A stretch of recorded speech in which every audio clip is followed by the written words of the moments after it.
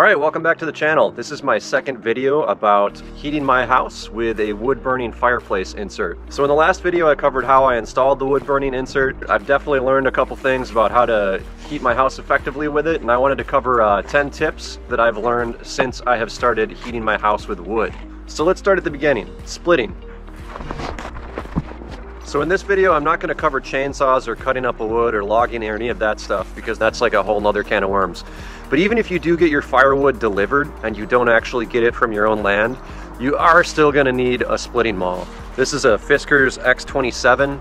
Um, I did quite a bit of research on splitting mauls. I went with this one because of a couple features on it that I thought were pretty interesting. One is the uh, the handle here is a polymer. It supposedly has a lifetime warranty and it's unbreakable. But you can see here it's got a bunch of scuffs on it. Um, I don't think this thing's ever going to break, so pretty happy with that. The other thing is the blade itself has some Teflon on it to help it dig in a little deeper and reduce friction.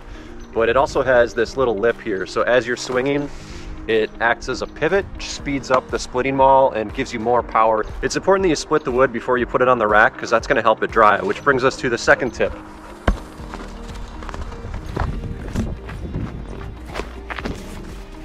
Brings us to wood racks. Behind me I have two wood racks that I knocked out with some 2x4s and cinder blocks. I also have this metal one here that was purchased on Amazon. I'll leave a link in the comments below. This is fine. I don't have any problems with this. Uh, it's worked great, but I did have some cinder blocks sitting around and if you just use some 2x4s that I repurposed from a different project, you just throw a couple screws in there. The 2x4 wedges into the hole of the cinder block and it's very strong and very cheap and very quick to knock these out. So it's now mid-January. I've been burning wood almost every day since late October and you can see that that rack is almost empty and this rack is completely empty. So I've gone through probably about a face cord and a half, almost two face cords of wood. When you set these up, the important thing is to put them so that they're facing the sunlight. You want as much sun beating on the wood as possible to help dry them out. These ones I have next to the house. Technically, you're not supposed to put them next to the house. They can cause uh, rodent and pest problems with termites and mice and all sorts of stuff. But what I've done here is I've put a gap uh, between the house and the rack, and then I'm trying to keep the leaves from collecting under there. Really, I put this here out of convenience so I can come from my deck at night, grab some wood, and come right back inside without having to trudge through the snow.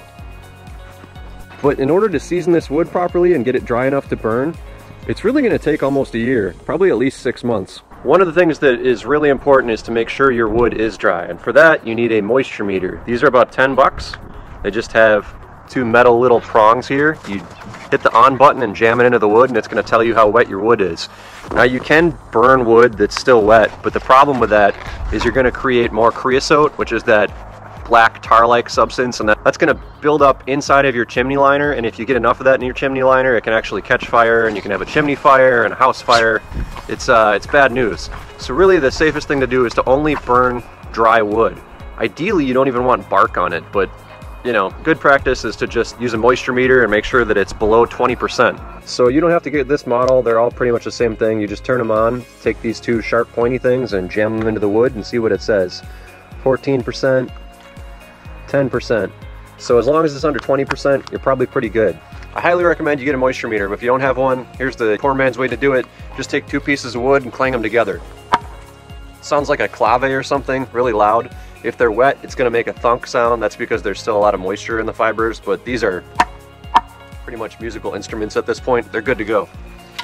The other thing you're going to need is kindling to get the fire going in the morning. Right here I have a kindling area. This is a kindling cracker. Um, I'll put a, a, link down below, but this is just a little cast iron thing where you throw a small piece of wood on here, hit it with a hammer, and you get some nice small pieces of wood to help start a fire. I took the really small pieces, I put them in a Tupperware container here. When it was still nice out, I left this open and just put this in the sun to help it dry out, but all these little pieces are great for starting fires. The other thing I did was I built a kindling box. I'll show you how I built this. This is pretty quick and easy, so let's jump to that real quick.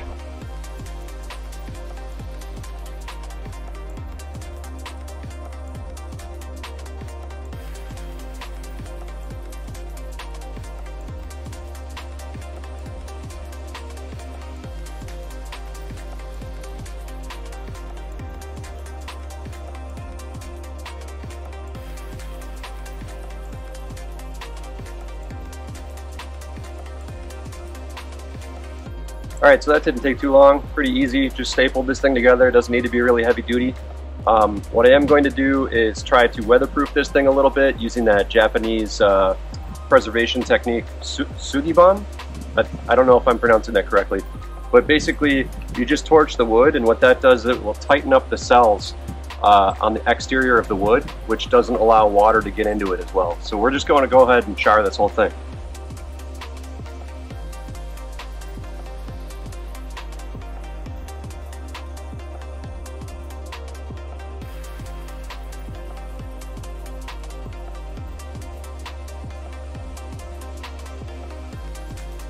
Okay, so now we're inside. I've got a couple more tips for you. You're gonna need an ash bucket. I picked this one up. Uh, it's just something non-flammable to throw yesterday's ashes in case they're still hot. You're also gonna need some fireplace tools. I suggest instead of buying them at Menards or Home Depot or whatever, just check out eBay or Etsy. You can get some super cool mid-century stuff for about the same price. This is all Danish teak and brass. I think it's way more attractive than the stuff you get made in China from Menards. So check that out somewhere. Now I'm going to start a fire. I'll show you how I do it. So there's a couple orientations you can put your firewood. It really depends on your exact fireplace insert on what's best. This is called north-south, where it runs from the front of the fireplace insert to the back. And this is called east-west. Regardless of what you do, you do want to try to space some air underneath any piece of wood in here because fire is all about breathing. When I'm cutting up trees, I save the branches and put them in one spot to dry out. I use that as kindling. This is a stick of fat wood. It lights really easily. Super oily wood here. So the other thing when you are first starting your fire, just keep your door cracked a little bit. The airflow will rush into this gap here and help blow the fire on all the other pieces of wood. Generally, I keep the door open like this for about two to three minutes. It really gets everything going pretty nicely. It's been a couple minutes of this fire blasting into all these other pieces with this door cracked. So now I'm gonna shut the door and I'm still gonna leave the air vent or the air control all the way open for another few minutes until this really takes hold. And then I'm gonna start to choke it off. All right, so a few minutes later, even with the air control all the way open, you can see the fire has started to die down and kind of in a bunch of different places. One thing I suggest you do is get a pair of welding gloves, and then you can just grab stuff and move it around. But that's going to allow me to just grab the big chunks of wood and elevate it and help things keep burning. The other thing I can recommend if you have a glass viewing screen like this is get some wood stove glass cleaner. This will clear up any of the soot or carbon that builds up on the glass here. I also want to talk about the temperature. So a lot of places sell these little magnetic thermometers that help you keep an eye on your, your insert. This is kind of a double walled box as I went over in the previous video, so it's not super accurate, but realistically the heat should transfer eventually even to the outside.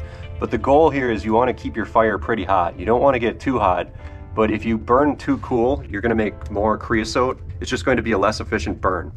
So the goal is to try to get this thing as hot as possible right away because the sooner it's hot, the sooner it's efficient. So you can see here that even though this fire has been going for about five minutes now, this thermometer hasn't even moved yet.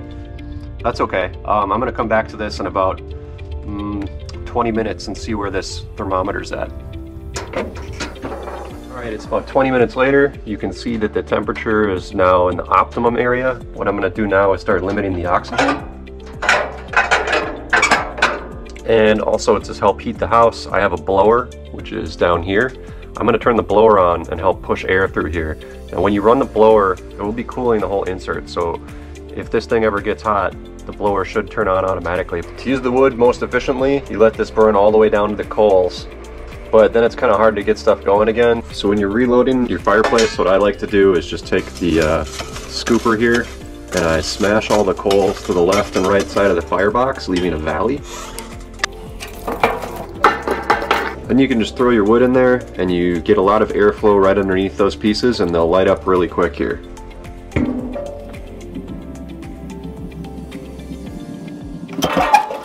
Once they're lit and the fire has a bed of coals, I'll just take the air control and choke her all the way down. That should be good for three to four hours. All right, this last thing I wanted to cover was called banking coals. Ignore the fire still going on in the back of the firebox. This is what you can do to avoid having to light a fire the next morning. So you take your shovel and you scoop all the coals into a big pile here in the front of the firebox.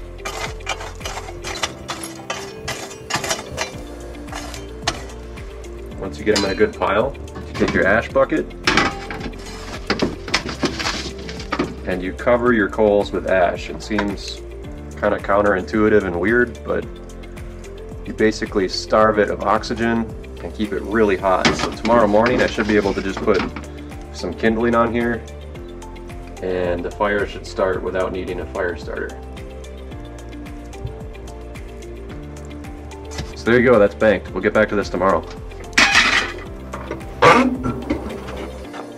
One other thing if you're going to be banking coals, make sure you turn your blower off because that's going to draw heat out of the smoke box and everything. So what we want to do is keep the heat in there.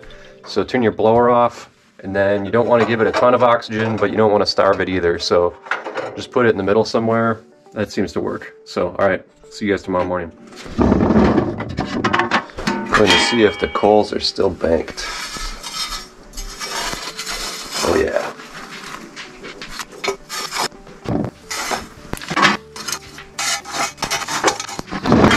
So all you do is build a fire on those coals and it should start right up.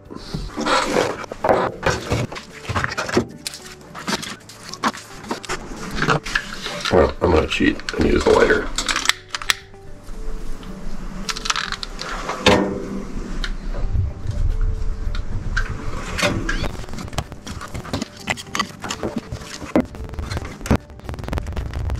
Alright, well that's how you bank coals. Alright, that about wraps up this episode. Hopefully some of these tips and tricks save you guys some money and help keep your house warm. And if you like this video, be sure to check out some of my other stuff. Most of it is not related to burning wood. Most of it's actually related to burning gasoline and fixing things that burn gasoline. Other than that, stay safe and thanks for watching. Cheers.